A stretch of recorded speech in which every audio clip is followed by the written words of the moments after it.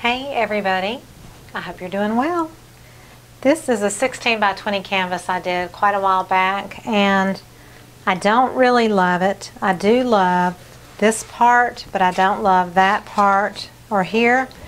And I thought, you know what, I'm just gonna do three little pours just in those areas and see what happens and try to leave this existing strip here intact. We'll see if it works. I'm not sure. If you've never watched an acrylic pouring video before, I always try to do one color mixture just so you see how it's done. You can use any brand of acrylic paint and however you, much you mix, this is a three ounce bathroom cup. I've got probably about a half an ounce of paint. I'm going to do the same amount of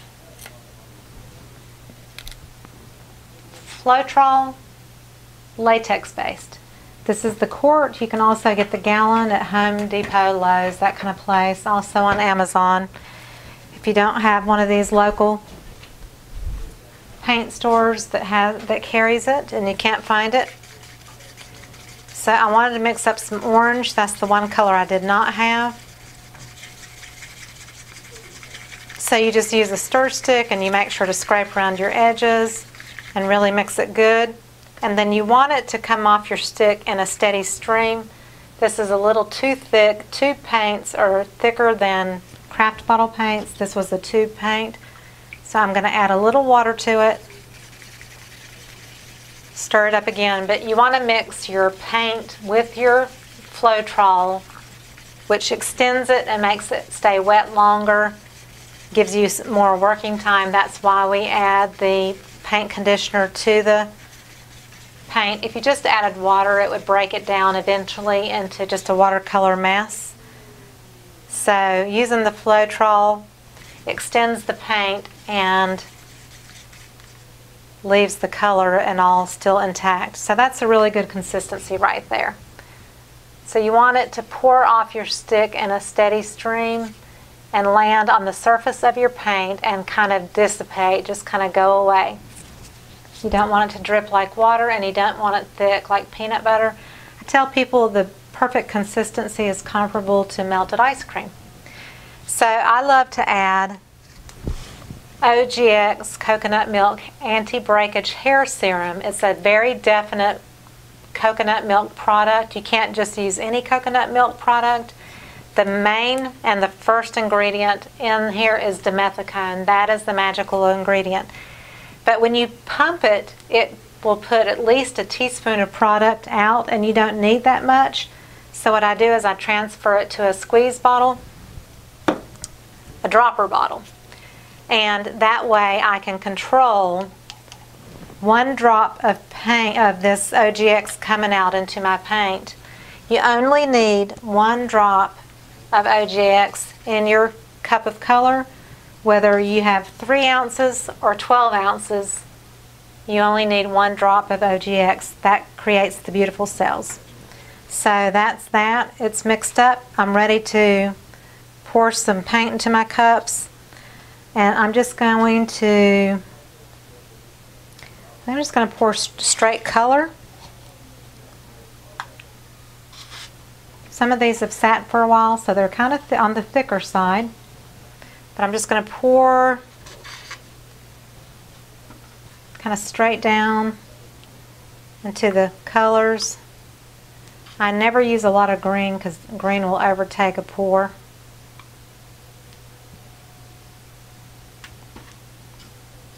I'm doing this for this particular area. I don't need a ton of paint. So I think, I think for this area that's about right.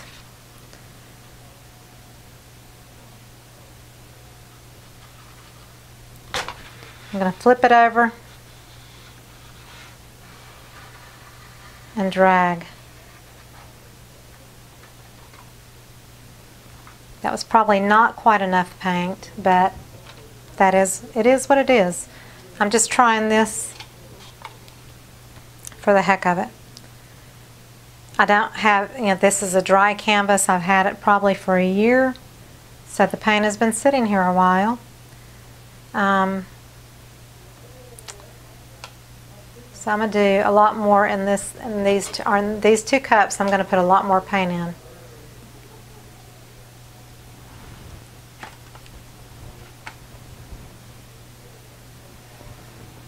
I've got a little bit of a deeper blue.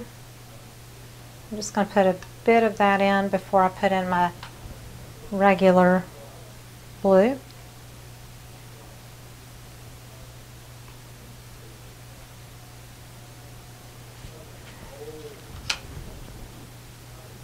This time I'm going to do the red.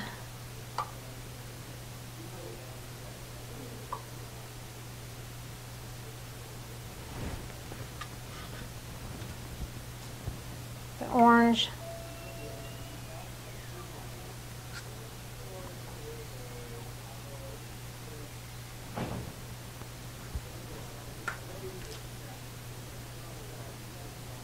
Yellow.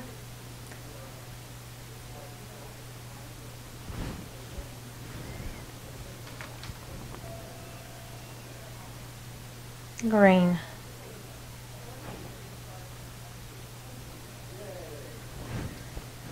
Okay.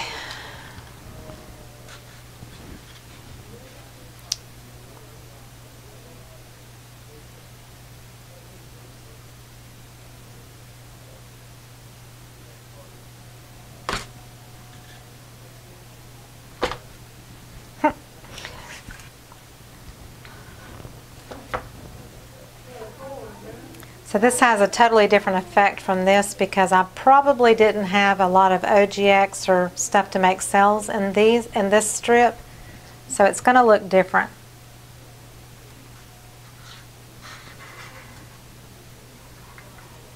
That's really pretty though.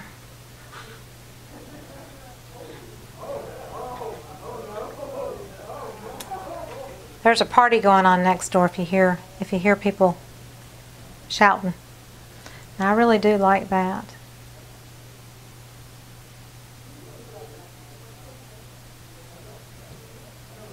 And that's because I added the deeper blue and I put it in a different order. I almost feel like I need to kind of go over this one again. Let me mix up a little bit more orange. I'm going to start again.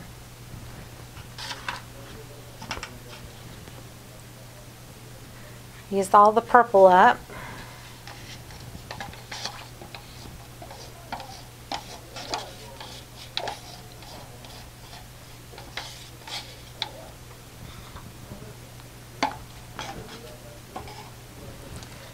And some of the deep blue.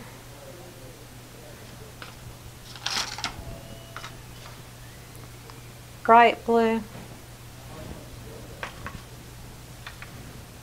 Red.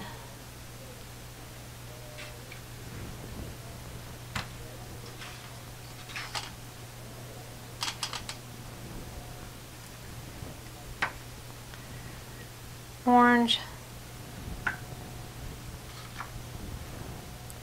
Yellow, green.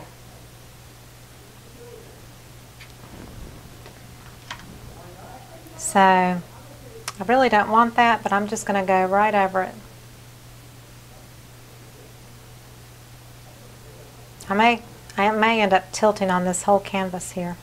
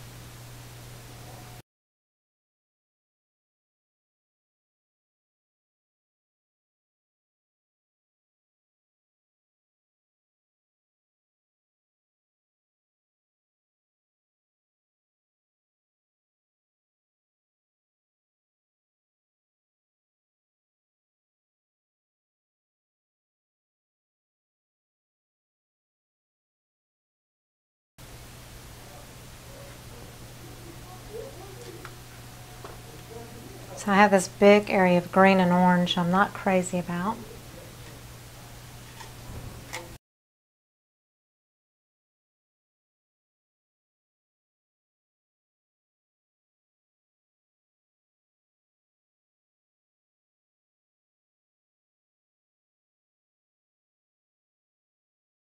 I have this one area that I'm not crazy about, and I've got this beautiful violet color, which I did not use. I'm going to just pour some violet on. A little blue. A little red. An orange. It'll take me uh, this is a spreader and just swipe through it.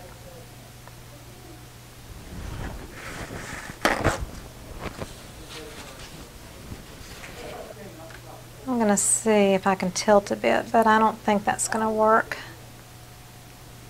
But it might, if I can just change the, the shape slightly.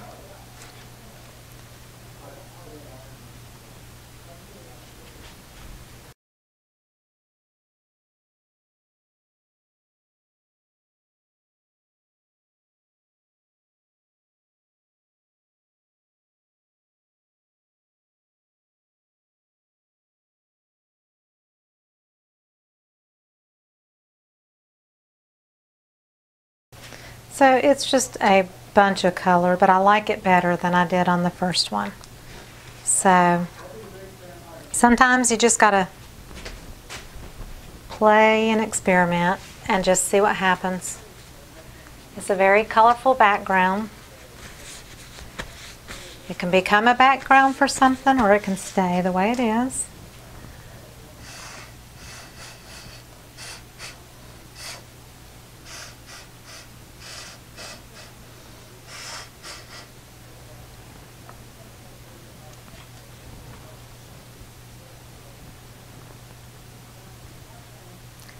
I want to change this up somehow.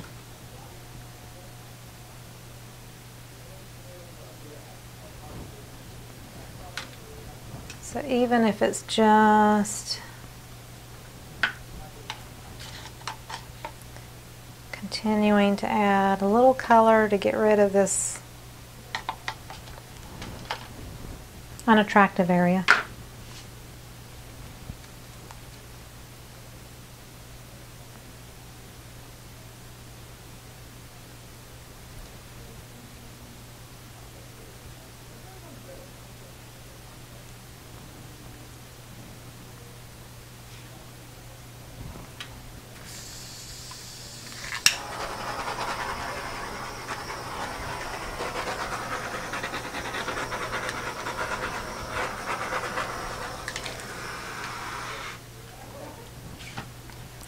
All right. So here it is, just an explosion of color. It totally changed the look of the canvas for sure, which was not my full intention, but I'm okay with it.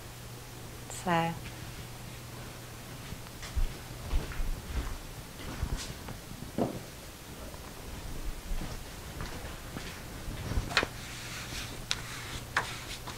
I hope you enjoyed it, and if you did, please give me a thumbs up and subscribe to my channel. Check out the links below the video where it says show more on your laptop or computer or the down arrow on your mobile device.